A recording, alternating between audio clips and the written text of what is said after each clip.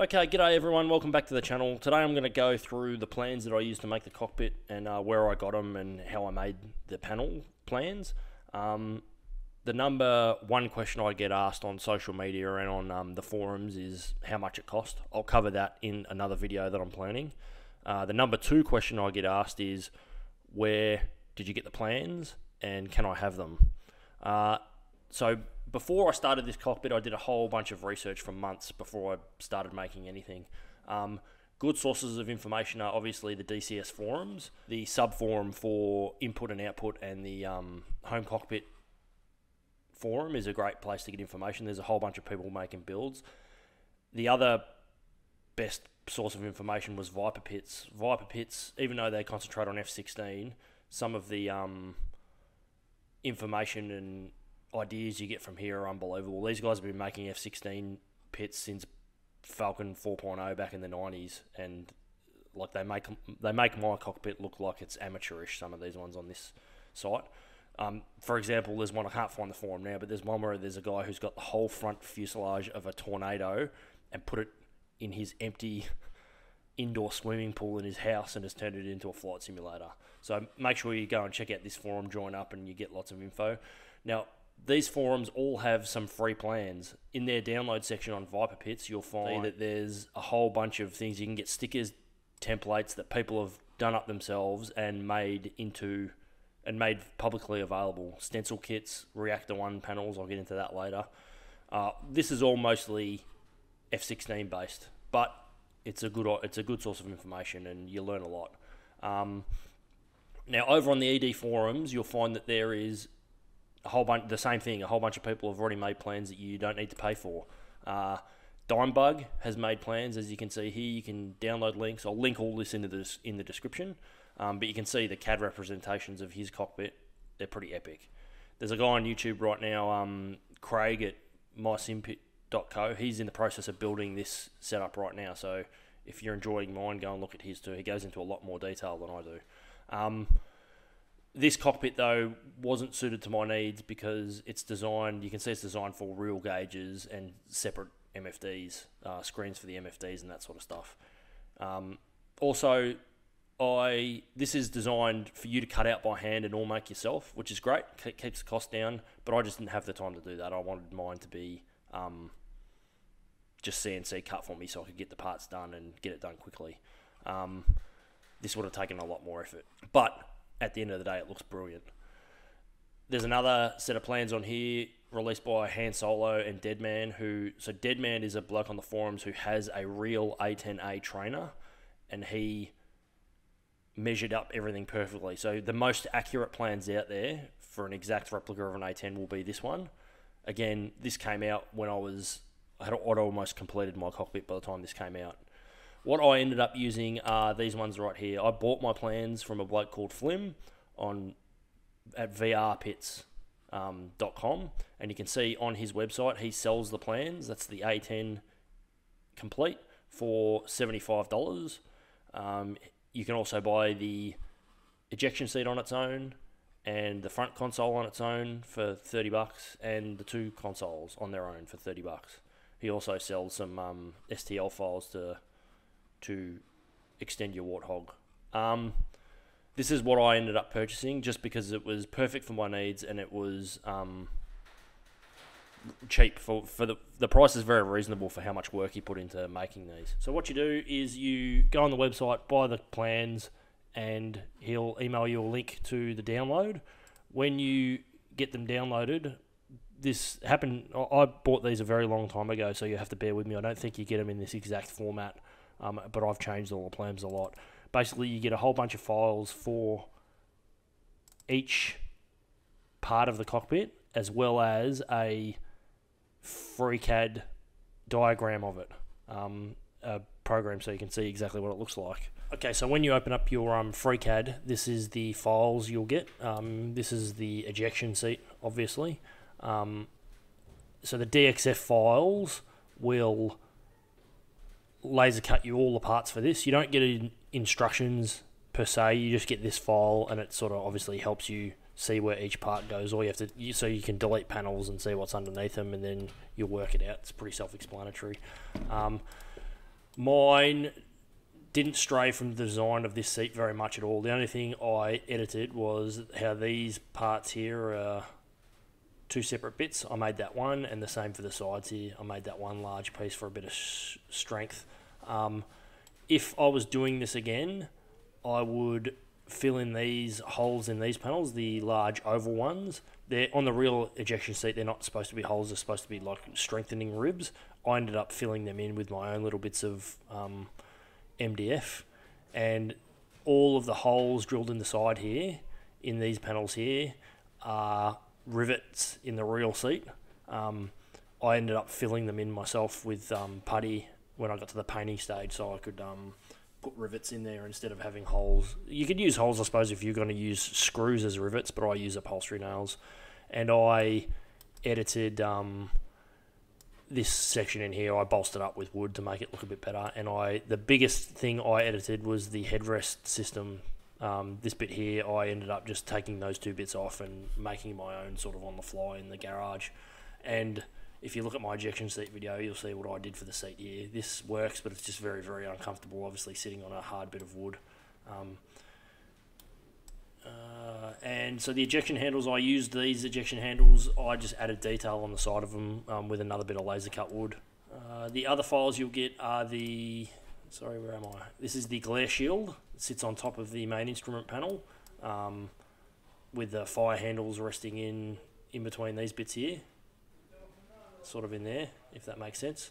Um, yeah, that one's easy. The only difference I made was I didn't put these holes in the top there. I'm not really sure what the purpose of those was, but I didn't put them in there.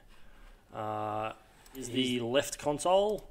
You can see it's the, exactly the same design that I used. Um, I didn't edit very much on this at all. The only thing I did edit, sorry, I'm not used to using FreeCAD. Um, uh, I just put skin on the outside so you can hide all those ribs and it hides all your cabling. And what else did I change on here? Uh, this um, this panel in here I changed. I they, they have it designed as it's one big flat unit. I ended up um, actually deleting that and recessing it back in line with that there, um, if that makes sense. Just in there, mine is so there's a bit of a rib sort of design going on. Um, if you do have it like that, your panel sitting on that will be flush up against this panel, if that makes sense. And I didn't want them to be flush. I wanted them to be um, a little bit of a gap there. Uh, I also deleted the holes drilled in that panel there, um, so I could add them myself um, with with my design of radios. So you also get the front panel. This is the front um, instrument panel. The biggest edits I did on this one compared to the original one, I'll show you in the DXF later, is to the main instrument panel itself. I um, made a whole bunch of changes um, to incorporate my. So this is the only sort of raised instrument panel you get in this file. I wanted mine to be a bit more realistic, so I edited up, sorry, ended up adding more bits of wood and more layers to make it a bit more realistic. Um, and I also cut different holes in here and edited a little bit to fix my sort of to, to suit my needs. Um, you can see that the holes cut in this instrument panel are large for the full size uh, MFDs in an A10, not these um, not these Cougar MFDs. These are representations of the Thrustmaster Cougar, so you have to make an adapter panel to make that fit on top of that, or just stick it direct to your monitor.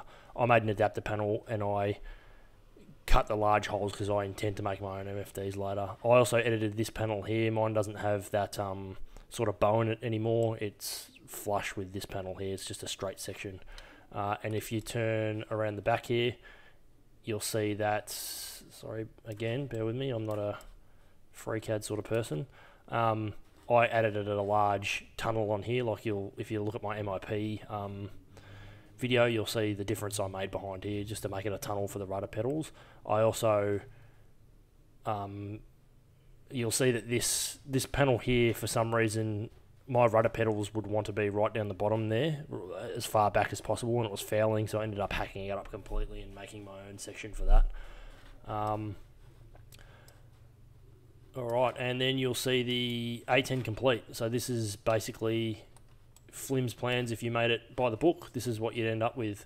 You can see it's pretty epic. Um, I, look, all of the edits I made were unnecessary. Like you could build this, you could send this off to a laser cutter or a service that can cut it for you. Maybe you got your own CNC machine, cut it, and you'd end up with a very, very awesome cockpit. Um, it just I edited it only to suit my needs. That's it, and um, to be a little bit more realistic. But I'm pretty sure that if you were sitting in this playing DCS, you'd be a happy man, because I certainly am in mine. Um, all right, so now that we've looked at sort of that, I will show you the DXF files and the edits I made, and then I'll go on to the actual panels.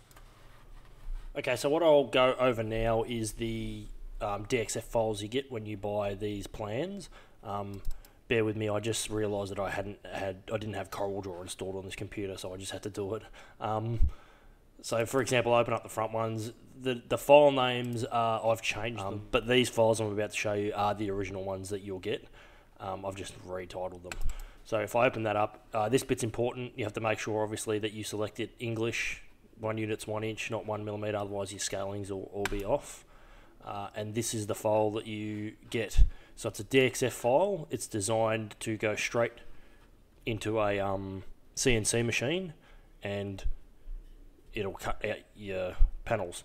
Um, from memory, I think it's designed so like the brown is runs the tool on the outside and the blue runs the tool on the inside, so you get good cuts. Um, I've never used a CNC machine before because I don't have one, and I've never used one. Um, I've got a laser, so I don't really have to worry about inside and outside cuts because it's a laser beam. Um, so this is the original ones. You can see this is the front console. Everything in this would be cut out of six millimeter um, thick MDF, and then the other file is the 12 millimeter MDF parts. Again, make sure it's in English, and that's the side, then the floor, and that, that's the um, the front panel part. Um, so basically, if you cut this out of 12 millimeter MDF and you cut this out of 6 millimeter MDF, you'd have enough to make that unit right there, um, exactly as you see it. So now what I'll do is I'll show you the one that this is my one that I've edited. Um, most of this is the same. I ch- changed the glare shield a little bit because I cut the the bit out of the back and that sort of stuff for it. But um, obviously the big changes I made to this part here in mine. Um, if I go back to the original, you can see that their main instrument panel is a little bit less um, involved than my one. I cut the actual gauges out.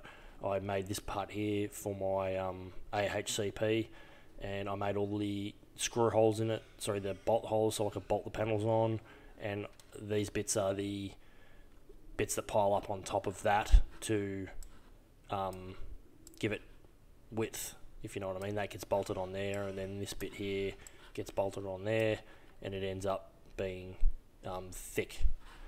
Uh, uh, so the original design also has this little cutout here. You can see on my one, I deleted that um, that part uh, that is designed because this this is designed for a 27 inch monitor to sit behind it inside its casing still. So this hole would give you access to the buttons to turn your monitor on. I removed my panel from the from the um, monitor, so I don't need buttons because I don't have them. I've actually mounted them somewhere else, and I never use them anyway because it auto turns on as soon as it gets a HDMI signal. So basically, I sent I opened these DXF files, I edited what I wanted to, and then I sent them off to a company who had a large CNC machine and cut them out for me. So these plans are designed to be cut out on a CNC machine, but it would not be that hard to open them up, edit them around uh, so you can fit them on large paper and get them printed on paper. That would cost much, much less. And then you could use it as a template and cut it all out by hand. Um, most of these parts are all just square angles, so like things like this, you just open it in CorelDRAW, you can see the dimensions, and then you can cut, you can cut um, that yourself out of wood. Like realistically, the only hard bit to cut out would be this part, um, because it's so involved. But if you just took your time and you had the right um, drill bits, you could do all this by hand. or you could cut that out separately. So I'll just show you the seat. So if you open up the seat, these are the actual original um, files that you get, the DXF files. So you can see that he's got them in two files here, 0.25 inch thick wood and 0.47 inch thick wood. So there's two different files. Open them up in English. And he's written just here that your blue are your inside cuts and your red are 0.125 drill holes. Um, look, it comes with a PDF that gives you a basic explanation of what to tell the person who's cutting this out for you or what to set your own machine at. Um, so basically all you'd need to do is open up that, open up that. So this file and this file, if you sent them off to a laser cutting service, when you got it back, you would have everything you need to build that exactly as you see it. Um, all the holes line up, and it's just, yeah, it's a good looking seat if you ask me. And then if you opened up all of the files you get, you end up with this bad boy.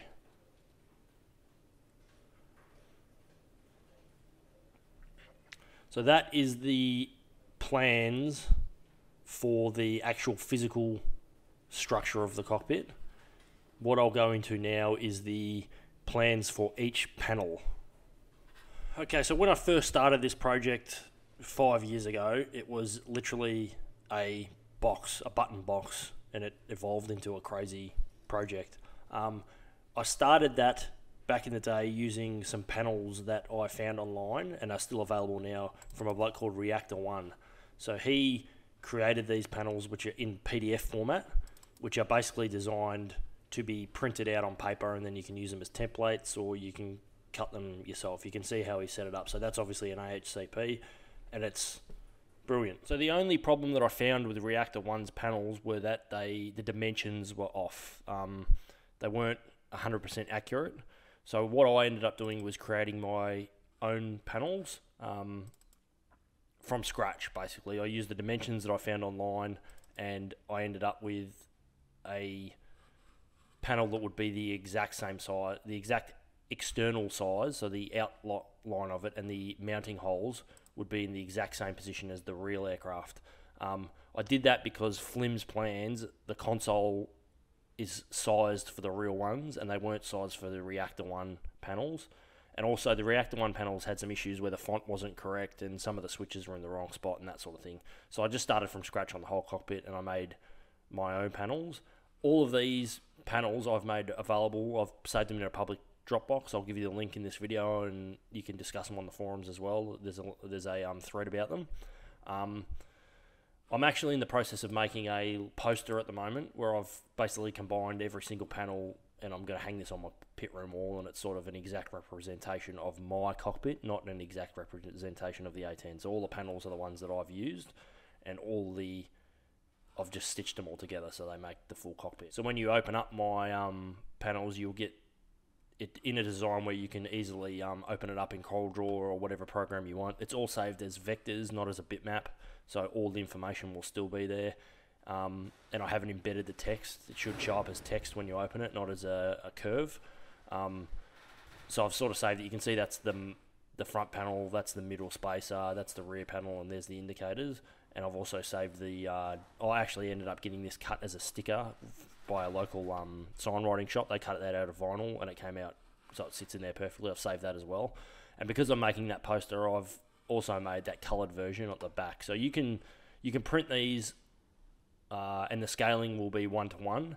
And you can also print that last page only, and you'll have like a um, a coloured placeholder if that's the way you want to make your pit. Um, even if you're just sticking that on top of a button box and drawing the holes for switches, you could do that. It'd still be pretty cool. Um, and I've got the entire cockpit, um, including you can see how I've broken it down. I've, I've also included the um, the CDU and the auxiliary avionics panel in the same format. It's obviously a bit more complex because there's buttons and a whole bunch of different spaces and that sort of stuff. That's the LED backplate. That's the main panel. There's the front of the AAP and there's the coloured version. Um, so you can see by my design how those two were stuck together. Um, and I've added those function buttons. Anyway, uh, I digress. Um, so the answer to that question that I always get asked is, where'd you get the plans? Now you know. And the answer to the question, can I have them? For this one here, the answer is no, obviously. I paid for them and I suggest that if you want them, you pay for them too because um, Flim did a lot of work on them and they turned out really, really good. Um, even if you didn't make the edits I did and you just print them out or get them cut as he has and put it together, you'll end up with a pretty sick looking cockpit. Um, each individual panel, however, I'm absolutely happy to share that. I'll link to the description and, um, sorry, I'll put a link in the description of where you can go to download them off my Dropbox and feel free to use them and print them and do whatever you want with them. Um, anyway, that's where I'll end this video. I hope I've answered uh, I've answered a few questions. If you have any more, throw them the questions in the comments down below, and I'll um I'll try to answer them. Thanks for watching.